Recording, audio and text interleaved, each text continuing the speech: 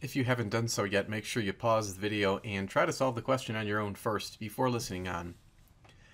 We want to first note that there are two straight sections of wire. There's a section right here that's straight, and then another section right here.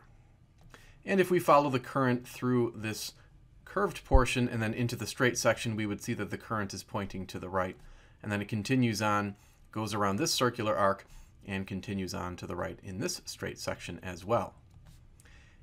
What we want to note is that for straight sections of the wire, if you follow the current, at least in your imagination, and imagine that it exits the wire and goes in a straight line, if it passes right through the center of curvature, then that section of wire will contribute no magnetic field at that point right there. And the same thing is true with this straight section of wire. If you kind of imagine tracing the current backwards, and noting that it passes right through the center of curvature, that means that that straight section of wire also will contribute nothing to the magnetic field. So what we need to consider are the two circular arcs. And it turns out that there is a formula that gives the magnetic field produced at the center of curvature by circular arcs. So let's take a look at that equation.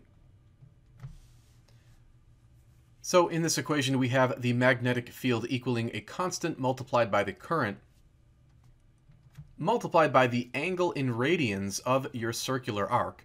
Now, we can see that both circular arcs are semicircles, and so the angle would be 180 degrees. However, when you plug an angle into this equation, you want to make sure that it's in radians.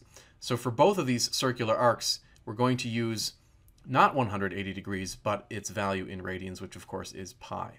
So that'll be the value for the angle phi in this equation in this case. And then we're dividing by 4 pi times the radius of the circular arc. Now there are two circular arcs, of course, so we're going to have to set up two calculations. Perhaps we can call the first magnetic field B1 and then the next magnetic field B2. And so what we'll go ahead and do is use this equation twice, once for B1 and once for B2. So the setups are essentially the same. The only difference is that the radius we have called R1 for B1 and then the radius R2 for B2. Another consideration we have to make is the direction of both of these magnetic fields. And to understand the direction, we would have to apply a so-called right-hand rule. So let's try to apply the right-hand rule for the first circular arc, the one whose radius is R1. And what we want to imagine doing is grabbing this section of wire right here with our right hand, and we're basically wrapping our hand around the wire.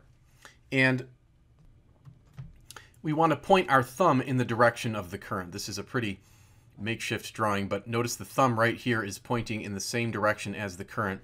And then you have your four fingers.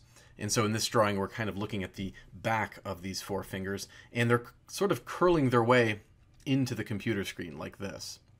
And so what that means is that the magnetic field at point C, produced by this circular arc of current, would be pointing into the page.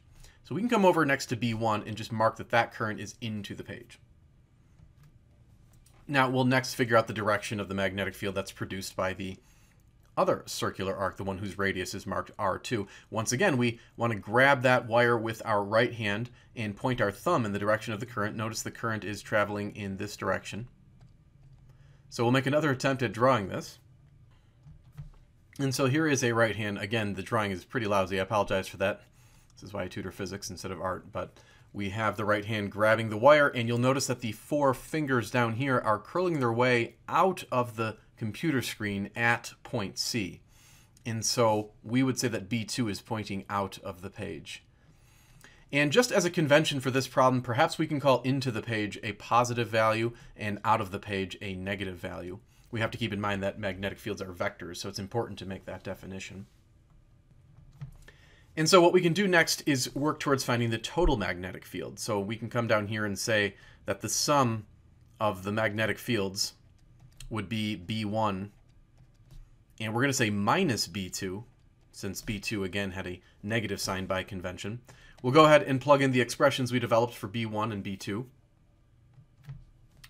And to make the calculation a little bit easier, we can factor out some common factors. So they both have the constant mu naught they have the same current, the same angle, which we said was pi, and then divided by 4 pi. and then that's going to be all multiplied by, let's see what's left over here. We've basically factored everything out except for the R1 that's in the denominator, so you have to make sure that you keep R1 in the denominator. And then also we have R2 in the denominator of the next term, so it's 1 over R2. And then we can also see that the pi's here are going to cancel out. Let's work our way up the page here. We'll plug in the values now. We know that this constant has a value of 4 pi times 10 to the minus 7. And that's Tesla times a meter per amp.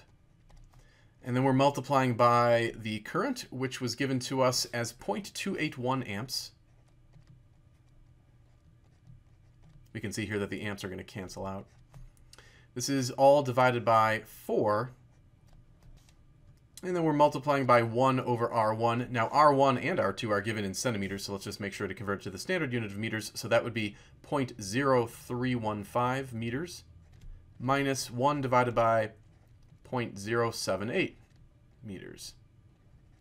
So we'll pick up our calculators and type this in. And when we do that, we get about 1.67 times 10 to the minus 6 Tesla is the standard unit of magnetic field. So this is the magnitude of the total magnetic field. Notice that it came out to have a positive value, and we defined positive as being into the page. So the direction of this magnetic field would be into the page. And so we have successfully calculated the answers to both parts A and B.